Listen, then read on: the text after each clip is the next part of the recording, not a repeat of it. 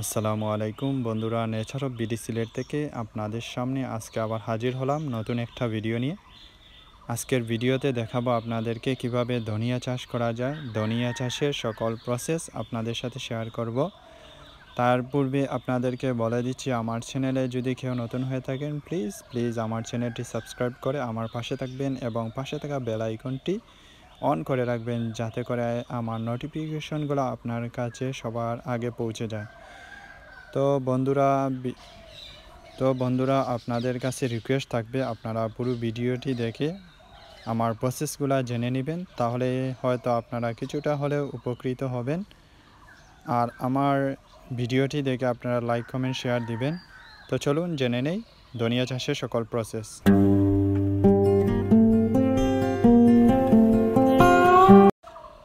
তো বন্ধুরা, প্রথমে দেখেন আমি কিছু ধনিয়া এনেছি বাজার থেকে।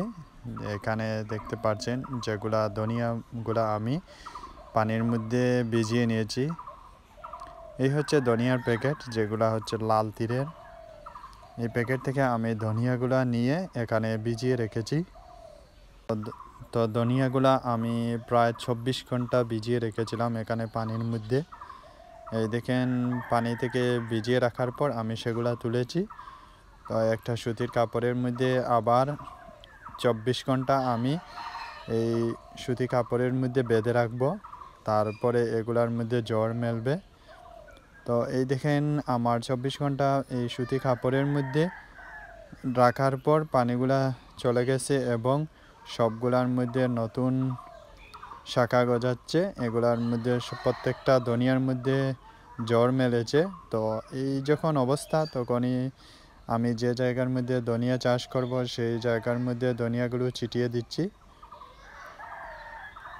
তো দেখেন, সবগুলো ধনিয়া কিন্তু এক শতক জায়গার মধ্যে, এখানে এক প্যাকেট দুইশো গ্রামের এক প্যাকেট তো বন্ধুরা, আমি এক শতক জায়গার মধ্যে দুইশো গ্রাম ধনিয়া এখানে ছিটিয়ে দিচ্ছি।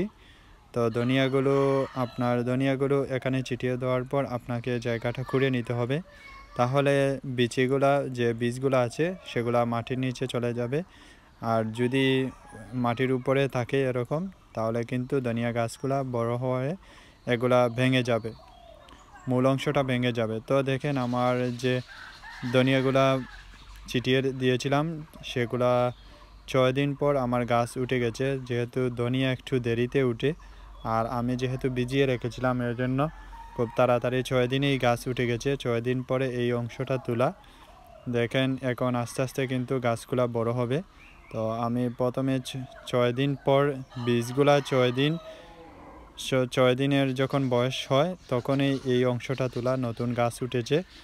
আস্তে আস্তে এখন কীভাবে আমি এই গাছগুলা বড় হবে সেগুলো আপনাদের সাথে শেয়ার করব। তো দেখেন, ধনিয়া তো বন্ধুরা ধনিয়া চাষে আসলে এত বেশি যত্ন নিতে হয় না।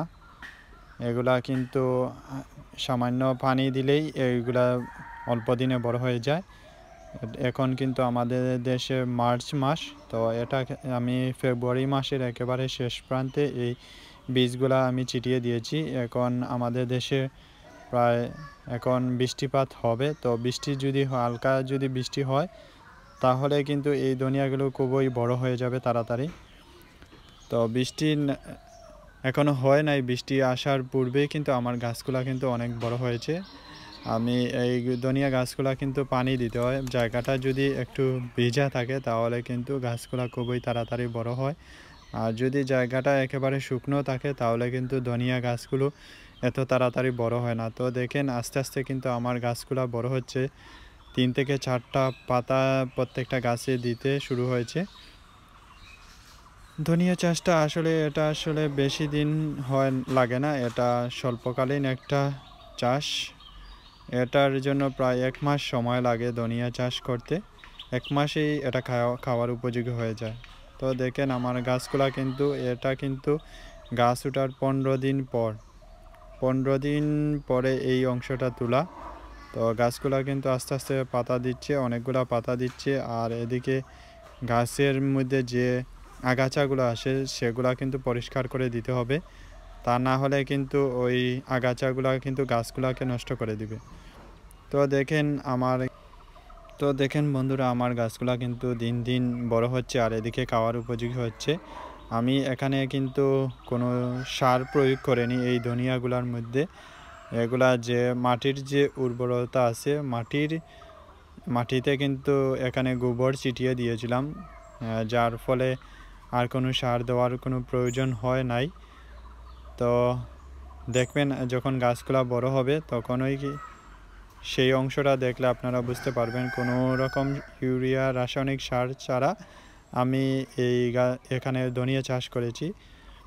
তো দেখেন, এই চলে আসলাম একেবারে ধনিয়ার যে মূল ফলনটা, যে এখন কিন্তু খাওয়ার উপযোগী হয়ে গেছে। আমার এই ধনিয়াগুলা প্রায় পঁচিশ দিনের মাথায় এই অংশটা তোলা। তো পঁচিশ দিনের মাথায় আমার এই ধনিয়াগুলো কিন্তু খাওয়ার উপযোগী হয়ে গেছে। আমি এখন এই ধনিয়াগুলো সংরক্ষণ করে আমি আমার তরকারি বা অন্যান্য যে যে সবজির সাথে আমি এই ধনিয়াগুলো এখন খেতে পারব।